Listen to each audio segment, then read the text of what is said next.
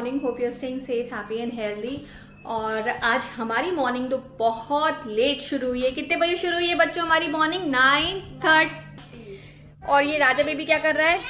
ऐसे ये राजस बेबी कह रहा है कि आज ब्रेकफास्ट में लड्डू बनाओ।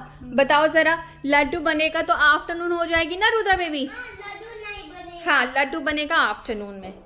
मैं सही बोले हाँ लेकिन मम्मा डैडी फ़ोन में बदला है थ्री थर्टीन थ्री थर्टीन ये रुद्रा का नया और इसलिए हम लोग क्योंकि आज वीकेंड है इसलिए खाना बनता है।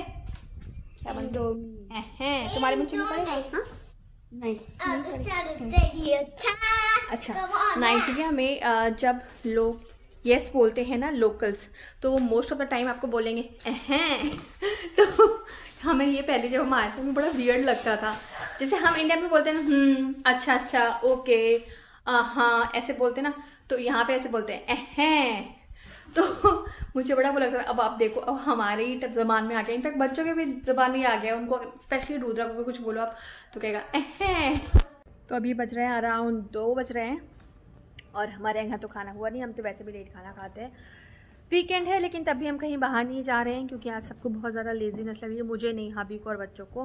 खा रहे हैं क्या खा रहे हो तुम लोग? सेवई। सेवई हबी जा जाके सो गए थे। तो मुझे समझ में आया उनको उठाऊँ कैसे? तो फिर मैंने घर में सेवई बना दी। और सेवई हबी की फेवरेट है। तो इसी बहाने वो उठ भी गए। और फाइनली किचन में आ गए हैं अपनी सेवई लेने के लिए। मुझे एक ऐप के बारे में पता चला शायद आप लोगों को पता होगा और जिनको नहीं पता है शायद उनके लिए वीडियो हेल्पफुल होगी। ये नाइजीरिया से रिलेटेड नहीं है सबसे पहले तो बात। अ, मैं आजकल कुछ ऐप्स ऐसे ढूंढ रही हूँ जो जो मेरे लिए यूज़फुल होंगे। मुझे लगेगा यूज़फुल मैं आप लोग से भी शेयर करूँगी बट फ़िलहाल आज बात करते हैं। जैसे ऐप के बारे में मैंने जिसको ढूँढा है वो है अ, अगर आपको दिख रहा होगा तो ये शिरोज़ एक ऐप है और ये इंडियन ऐप है एक्चुअली और ये है सिर्फ़ वुमेन के लिए the women only social network and trust me this मैंने इस ऐप को ऑलरेडी चेक कर रखा है। मैं आप लोगों के लिए दोबारा से ये विंडो ओपन कर रही हूँ वैसे। Ask anything without hesitation it's awesome इसमें आप हेल्पलाइन नंबर्स मिल जाते हैं फ्री एडवाइस मिलती है लीगल एडवाइस मिलती है फ्री मेडिकल हेल्थ एडवाइस मिलती है। अगर किसी वुमेन को कोई प्रॉब्लम है, वो डिस्कस कर सकती है, क्योंकि इस प्लेटफॉर्म में only women are allowed and this is specially for Indian womens जितना मैंने पढ़ा है। एंड इट्स अमेजिंग और इसको ज्वाइन करना भी फ्री है। इट्स मुझे ऐसा लगा कि ये ऑलमोस्ट फेसबुक जैसा तो नहीं बट फेसबुक से मिलता जुलता है। फेसबुक में तो ये है कि भाई आप किसी ग्रुप को पर्टिकुलर ज्वाइन करते हो। बट इसमें क्या है? इसमें कम्युनिटीज़ बन को दिखाती हूँ। ये देखो आप। ये कम्युनिटीज़ में बहुत सारे ऑप्शन आप देख सकते हो feed communities articles community guidelines और editorial policy helpline. Let's click on the helpline और जब आप हेल्पलाइन पर क्लिक करते हो तो ये आस्क शीरोज़ हेल्पलाइन यहाँ पे आप अपना क्वेश्चन टाइप करते हो। जो कि भी हाँ दिख रहा है। टाइप या क्वेश्चन हियर आप यहाँ पे क्वेश्चन टाइप करोगे और इसके बारे में सर्च किया है। वो ये है कि आपके क्वेश्चन के अकॉर्डिंग लेट्स से किसी को लीगल है तो लीगल इन्फॉर्मेशन या लीगल हेल्पलाइन के अकॉर्डिंग नंबर्स उस पर आ जाएँगे। तो मेरे हिसाब से तो ये वेबसाइट बहुत ही अच्छी है एटलीस्ट फॉर वुमेन जिनको बाहर नहीं पता चला कैसे क्या ढूंढे एटलीस्ट उनके लिए तो चलो एक ऐप तो है कि जहाँ पे वो फ्रीली जाके कुछ भी पूछ सकती हैं फ्रीली वहाँ पे जाके आ, पोस्ट कर सकती हैं अपने बारे में या कुछ नहीं तो अपने मन की बात ही शेयर कर सकती हैं। I am loving this app और मैं पूरी कोशिश करूँगी कि मैं इस पे जाके रोज़ कुछ ना कुछ अच्छी चीज़ें पोस्ट करूँ। अ, इसमें मोटिवेशनल थाट्स की भी कम्युनिटी है। बहुत अच्छी अच्छी कम्युनिटीज़ बना रखी हैं इन लोगों ने।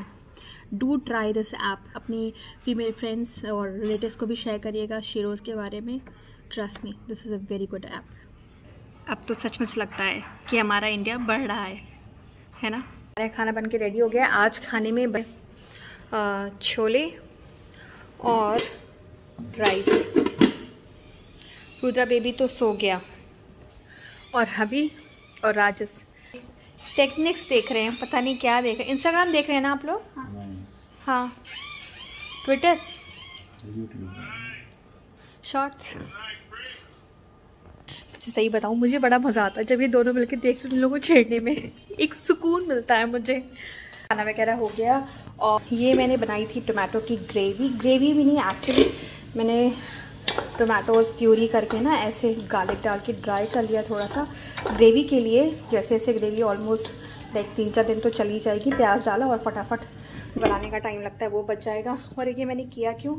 क्योंकि टमाटर हमने बल्क में ले लिए हैं और थोड़ा सा ज़्यादा हो गया है। और एक चीज़ और है, अगर आप यहाँ पे कोई चीज़ बल्क में लेते हो ना तो आप प्राइस कर लेते हो अच्छा तो आपको अच्छा प्राइस मिल जाता है। बस यही और खाना बहुत टेस्टी था। तो चलिए, मिलते हैं कल के ब्लॉग में।